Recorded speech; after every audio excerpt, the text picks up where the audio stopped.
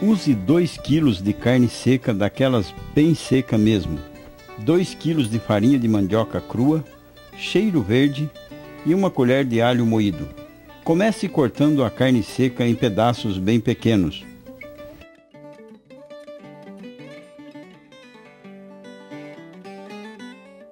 Lave bem em água corrente.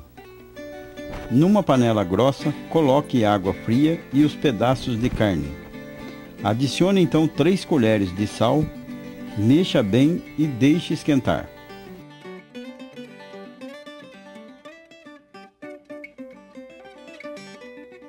Quando estiver formando uma espuma branca, mexa novamente e escorra a água.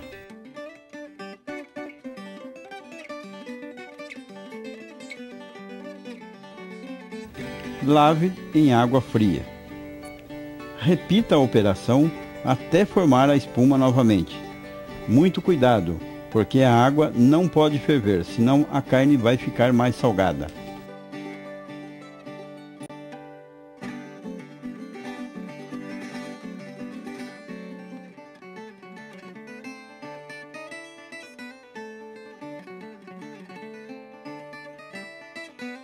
Volte então a panela para o fogo.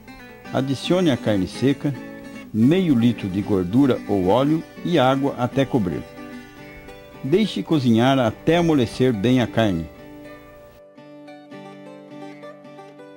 Quando estiver fritando, adicione então o alho moído e deixe fritar mais um pouco. Pique os cheiros verdes bem pequenos. Retire então todo o excesso de gordura da panela e adicione os cheiros verdes. Mexa e retire.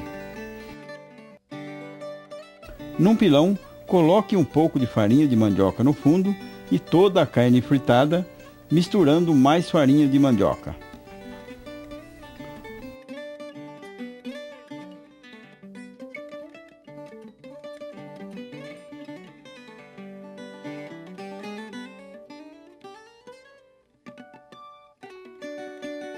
Soque tudo muito bem até triturar a carne. Vá colocando aos poucos a farinha de mandioca para ajudar na socagem. Vá colocando aos poucos o restante da farinha de mandioca para ajudar a socar.